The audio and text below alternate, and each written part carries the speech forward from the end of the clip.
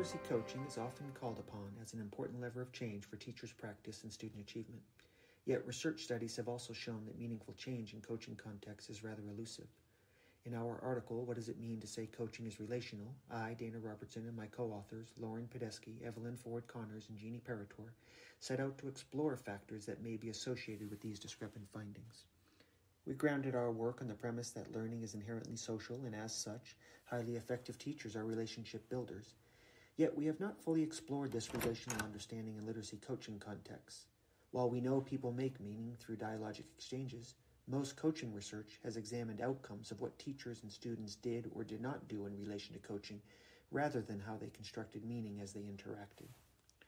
When people think about literacy coaching, they often espouse the importance of building relationships before the work of improving teaching can happen.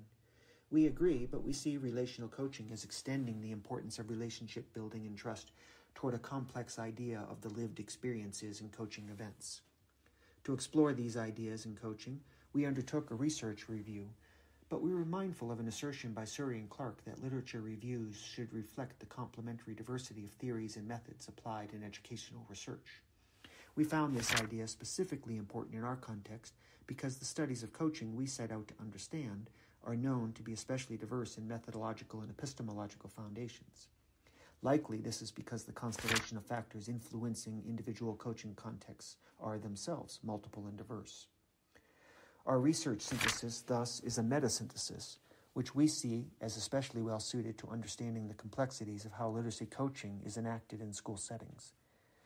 Our metasynthesis presents the collective findings of a small corpus of 28 studies examining literacy coaching in elementary and secondary settings and our analyses indicated that the realization of co construction of knowledge and pedagogical understanding may be influenced by differential patterns of enactment related to positioning and coach teacher dispositions towards coaching.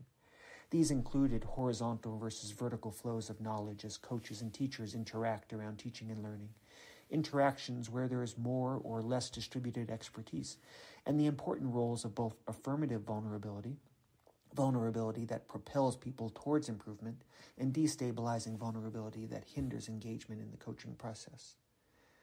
We also discuss ways coaches and teachers can develop more reciprocity in coach teacher relationships and move towards a more relational coaching approach, which may be an important consideration in thinking about how we leverage literacy coaching towards more sustainable and less elusive outcomes.